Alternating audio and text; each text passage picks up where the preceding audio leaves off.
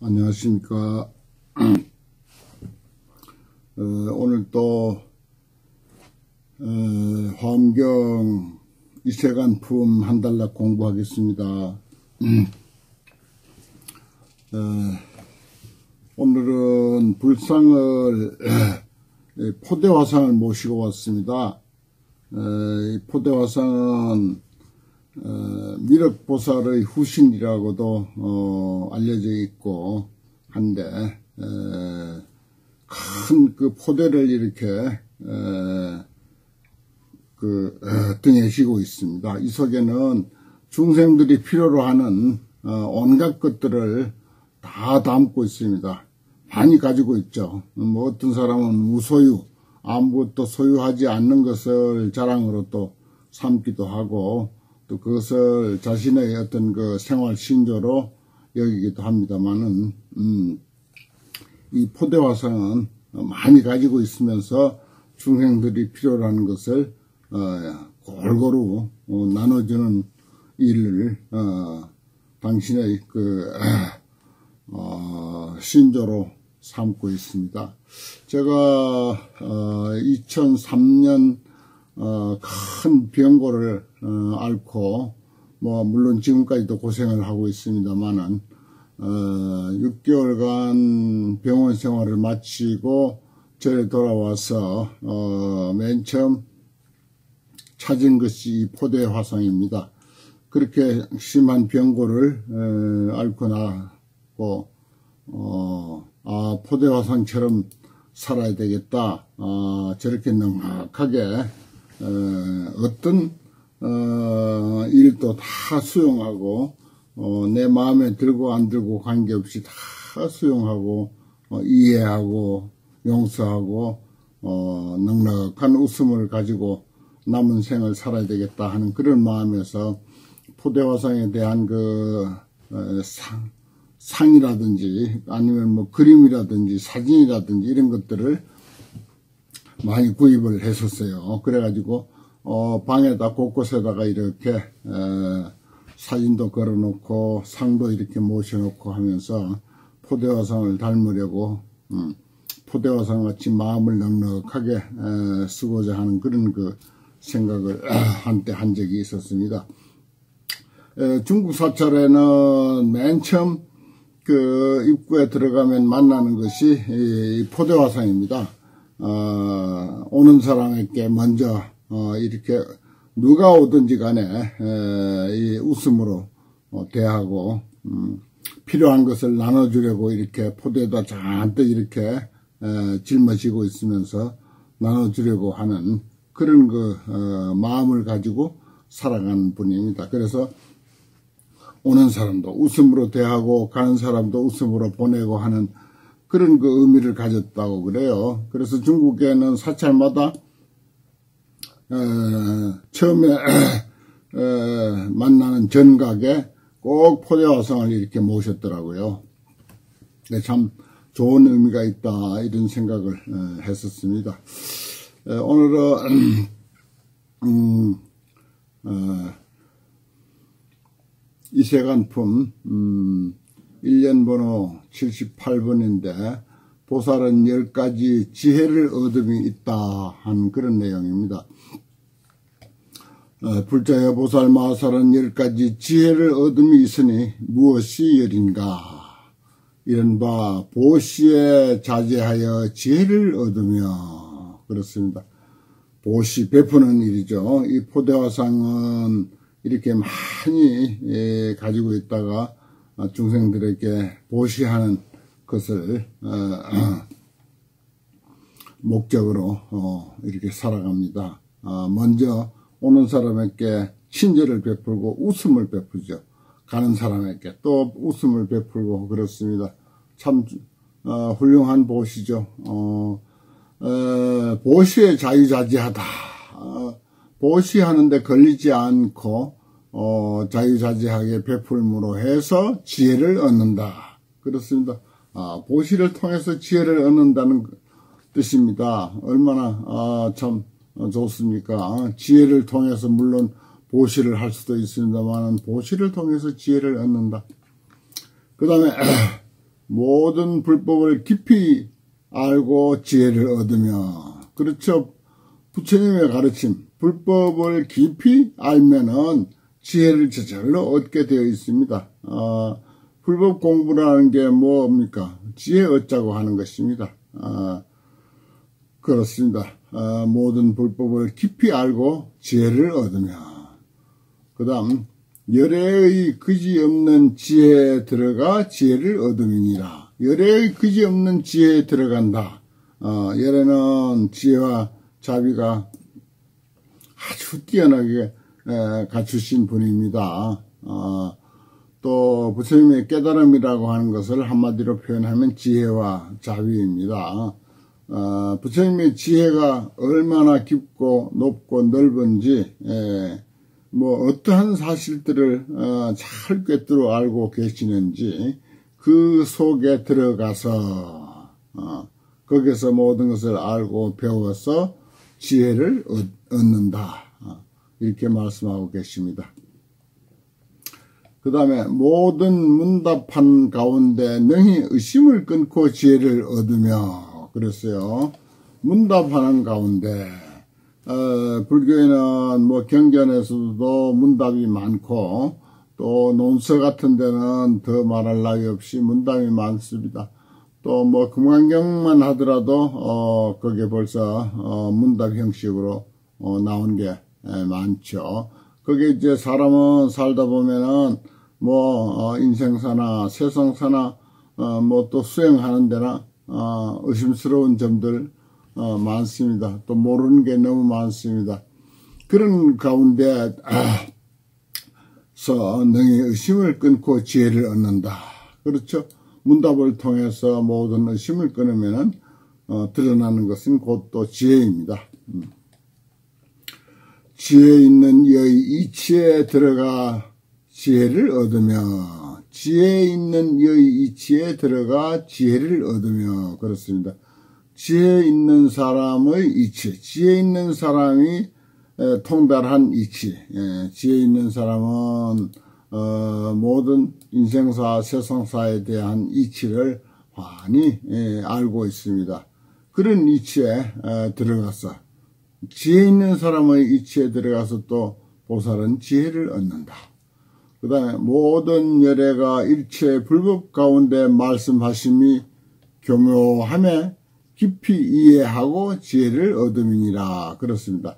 모든 열애가 일체 불법 가운데서 말씀하신 것이 어, 경전이라든지 뭐 온갖 그런 그 어, 불교 어, 이치 에, 이런 것에 대해서 어, 많은 말씀이 있습니다. 많은 말씀이 참 그 아주 교묘하죠. 어, 정말 어, 훌륭하고 빼어나고 뛰어납니다. 어, 거기에 깊이 예, 이해하고 어, 그것을 깊이 이해한다고 하는 것 환경을 우리가 공부하면서 늘 아, 시원하게 조금도 막힘이 없이 좀 깊이 예, 톡 터지게 좀 이해했으면 싶은 그런 그 마음이 늘 있습니다. 음, 그런데 음, 그런 그 어, 이치에 깊이 이해하고 거기서 어, 지혜를 얻는 길 아, 그것을 소개하고 있습니다. 그 다음에 모든 부처님의 처소에서 조그만 성근을 심어도 반드시 능히 일체 희고 청정한 법을 만족하여 열애의 한량없는 지혜를 얻는 줄을 깊이 이해하고 지혜를 얻으며 그렇습니다. 부처님 계신 데서 조그만 선근이라도 어, 심으면은 그 성건 심은 것을 인해서 반드시 능히 일체 백정법, 희고 청정한 법, 부처님이 터득하신 그런 그 어, 최고의 법이죠. 그러한 어, 법을 만족하여 열의 한량없는 지혜를 얻는 줄을 깊이 이해하고 그러한 부처님의 살림살이죠. 부처님의 수행과 부처님의 지혜를 어떻게 얻는가 하는 그런 그 모든 길들을 어, 깊이 이해하고 거기서 또한 보살은 지혜를 얻는다. 그렇습니다. 부처님의 하시는 일에 대해서 잘 알면은 그것이 뭐 어, 어찌 남의 일이겠습니까? 곧 내가 지혜를 터득하는 길이 되겠습니다. 그 우리가 뭐 부처님이 아니더라도 또 역사상에 어, 남은 그런 거 어, 유명한 어, 사람들의 어떤 그 생애와 사상에 대해서 우리가 어, 잘 연구하면 어, 거기서 뭘 얻겠습니까? 그 사람의 훌륭한 그런 그 사상 그리고 그 사람의 업적 또 그 사람의 지혜 이러한 것을 이제 알게 되고 어 거기에 감동을 받게 되고 그러므로 해서 그것이 그 나의 살림살이가 되고 나의 지혜가 되고 나의 수행이 되기 때문에 어 그러한 그 과거 어 훌륭한 사람들에 대해서 연구를 그렇게 하는 것입니다. 아 그런 그 의미가 아니라면 뭐 단순하게 남의 것만 어 사사치 에, 조사를 해서 이렇게 살았고 이러한 생각을 했고 이러한 활동을 했고 하는 그런 것만 가지고 그 연구를 한다면 뭐 그건 뭐, 뭐 학위를 받고 어 하는데 그치지 에, 뭐 무슨 그 이익이 있겠습니까? 거기서 내가 본받을 거 본받고 나도 어 따라서 함께 하고 하는 그런 그, 어, 그 자세를 갖는 거 어, 이것이 목적일 것입니다. 어, 보살의 부사의하게 머무름을 성취하고 지혜를 얻으며 그렇습니다. 어, 앞에서는 이제 부처님의 일에 대해서 자세히 에, 연구해서 거기서 지혜를 얻고 그 다음에 이제 보살의 부사의하게 머무름을 성취하고 지혜를 얻는다 그랬어요. 보살의 삶에 대해서 보살의 삶도 어, 아주 훌륭하고 위대하고 불가사의합니다. 그러한 사실에 대해서 어, 잘 어, 연구하고 그것을 성취해서 지혜를 얻는다 하는 그런 내용입니다. 그 다음에 잠깐 동안에 다 능히 말할 수 없는 부처님의 세계에 나가서 지혜를 얻음이니라. 이것은 앞에서는 부처님의 그런 그, 어, 여러 가지 그, 음, 청정한 법을, 어, 만족해서 어, 여의 한량없는 지혜를 얻게 된다고 하는 사실을 이제 어, 공부하는 그런 그 내용이라면 어, 여기서는 이제 잠깐 동안에 다능히 말할 수 없는 부처님의 세계에 나아간다 그랬어요. 어, 한순간에 짧은 순간에 어, 다 설명할 수도 없고 헤아릴 수도 없고 측량할 수도 없는 그런 그 부처님의 세계에 나아가서 지혜를 얻는다. 이것은 뭐 부처님과 동등한 그런 그 어, 어떤 수행이 있어야 되고 깨달음이 있어야 되고 어, 하는 그런 그 내용이겠습니다. 그 다음에 모든 부처님의 보리를 깨닫고 모든 법계에 들어가서 모든 부처님의 말씀하시는 법을 들어가지며 모든 열의 가지가지로 장음한 말씀에 깊이 들어가서 지혜를 얻나니 이것이 열이니라.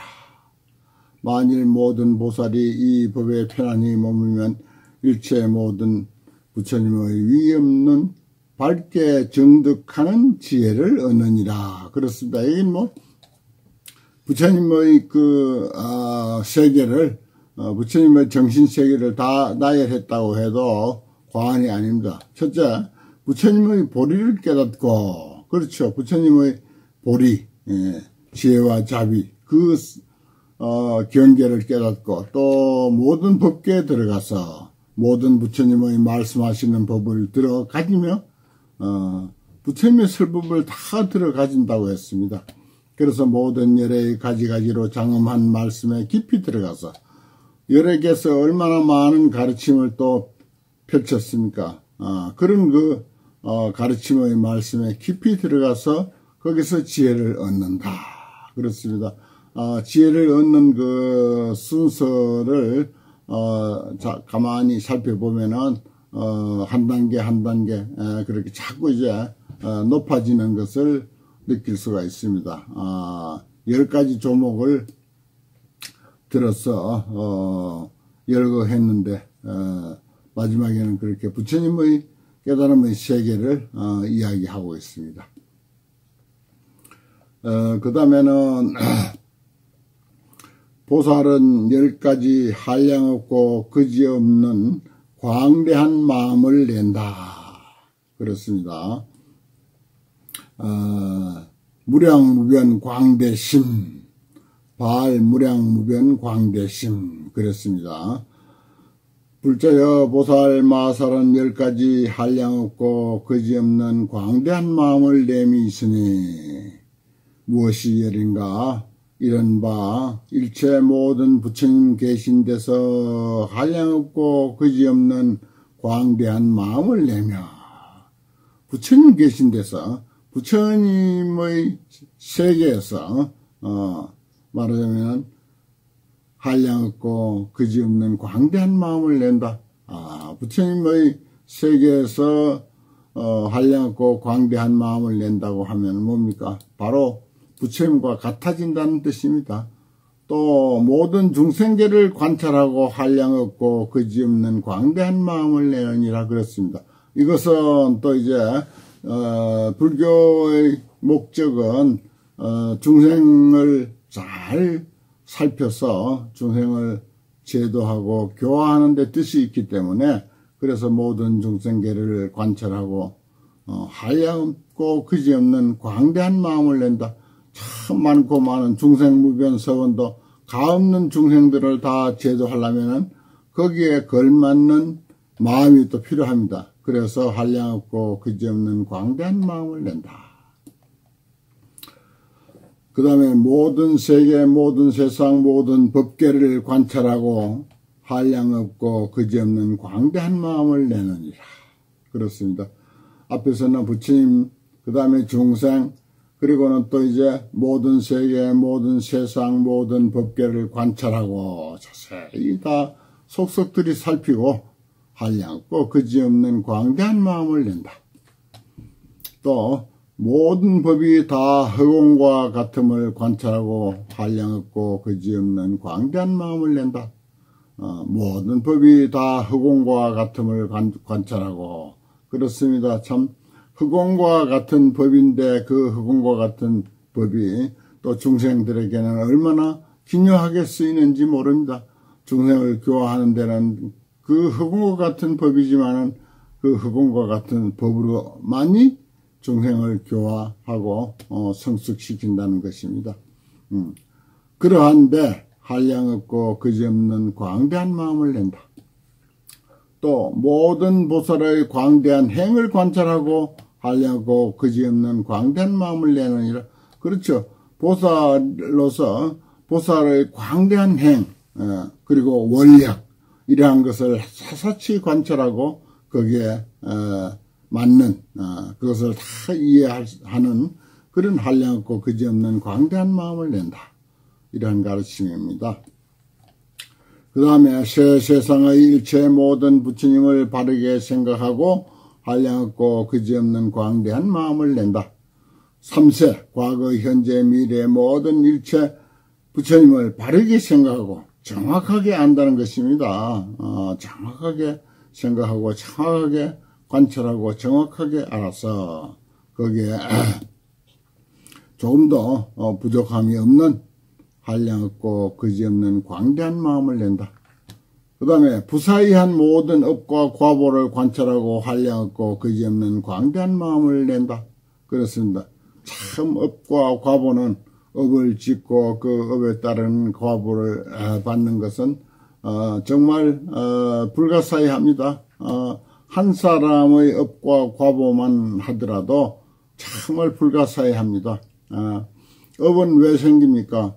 자꾸 반복하다 보면 길이 생겨요. 어, 경향이 생기고 길이 생깁니다. 그 길이 업이 됩니다. 어, 또 습관이 되고요. 어, 카르마가 되고 어, 거기에 따르는 또 과보가 있게 됩니다. 그것이 좋은 업이든 어, 좋지 아니한 업이든 어, 그것을 잘 관찰하고 한량없고 그지없는 광대한 마음을 낸다 그랬습니다. 참 음, 뭐 사람이 살아가는 데 있어서 제일 뭐 중요한 문제가 업의 문제입니다. 어, 우리가 지금 왜 나는 이러한 어, 상태로 어, 살게 되는가 그 삶의 모습이 뭐 어떤 상태든 그건 뭐 어, 좋은 그 상태다, 좋지 아니한 상태다, 뭐 긍정적인 상태다, 부정적인 상태다 하는 그런 그 평가를 떠났습니다.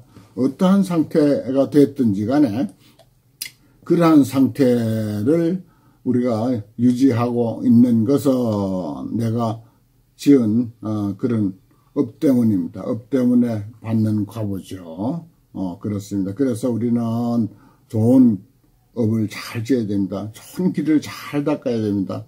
좋은 길을 잘 닦으면은 자꾸 그 길이 넓어지고 팽타, 팽탄해져서 자꾸 그 좋은 길로 어, 반복해서 가게 됩니다. 어, 그러한 이치가 있기 때문에 뭐 어떻게 보면은 어, 참 업의 문제 그거뿐이라고 해도 과언이 아니죠. 업의 문제입니다. 업의 문제를 잘 파악해서 또 그것을 우리가 어, 잘 어, 다뤄야 되고 어, 잘 지어야 되고 어, 잘 관리해야 됩니다. 엎짓는 일을 잘 관리해야 됩니다. 어, 그 길이 나면은 어, 자꾸 이제 그 길로 가게 되는 거죠. 그러니까 어떤 길을 만들 것인가가 하는 것이 중요합니다. 음. 그런 것을 다 우리가 관찰하고 알려면은 한량없고 그지없는 광대한 마음이 있어야 된다. 이런 말입니다. 또 모든 부처님의 세계를 청정하게 장엄하고 한량없고 그지없는 광대한 마음을 내느니라. 부처님의 세계를 청정하게 장엄한 데는 뭐, 어, 부처님의 어떤 그 정신세계와 걸맞는 그런 한량없고 그지없는 광대한 마음을 내야 되는 것이죠. 그 다음에 일체 모든 부처님의 큰 회상에 두루 들어가 한량없고 그지없는 광대한 마음을 낸다. 일체 모든 부처님의 큰 회상에 두루 들어간다. 어. 석가모니 부처님은 석가모니 부처님의 회상이 있고 아미타불은 아미타불의 회상이 있고 뭐그 경전에 소개된 많고 많은 부처님은 그 나름대로 또 어 그 회상이 다 있게 말입니다. 예를 들어 원효스님이라고 하면 원효스님의 회상이 있을 것이고 의상스님이라면 의상스님의 회상이 있을 것이고 보조스님이라면 보조스님의 회상이 있을 것이고 그러한 회상에 우리가 두루 들어가서 어 그러한 그 아, 어떤 그 업적과 아, 중생 교화의 그 어, 사업들 그런 불사들을 다 어, 이해하려면은 한량없고 그지없는 광대한 마음을 내야 됩니다. 또 모든 열의 미묘한 음성을 관찰하고 한량없고 그지없는 광대한 마음을 내라니 이것이 열이니라. 그렇습니다. 열의 미묘한 음성은 뭡니까? 부처님이 설하신 열애께서 설하신 8만 4천 법문이죠.